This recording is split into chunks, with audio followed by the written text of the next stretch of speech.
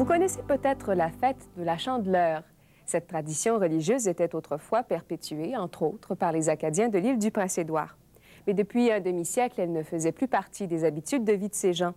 Sauf que pour la deuxième année consécutive, la Chandeleur a repris ses droits sur l'île. Jean-Albert Maire a suivi les quelques personnes qui ne voulaient pas laisser la fête sombrer dans l'oubli.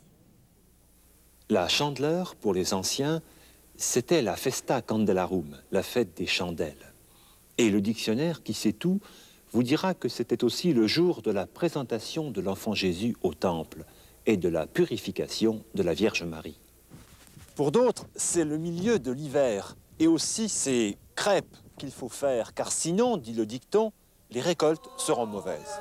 Nous soyons de retour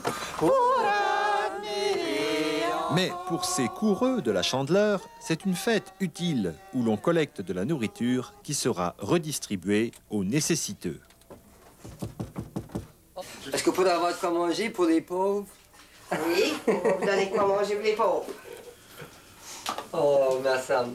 On vous remercie, mes gens d'honneur, d'avoir donné à la chandeleur. De maison en maison, en voiture ou à pied. Le but, c'est ci, mais le but, je pense, c'est de vivre une tradition acadienne, une tradition qui nous appartient à nous seulement.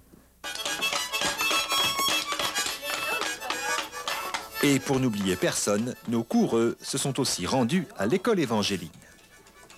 Oui, le coq, c'est le symbole de la chandeleur, le coq. Autrefois, en France, il paraît, il y avait des compétitions de coq.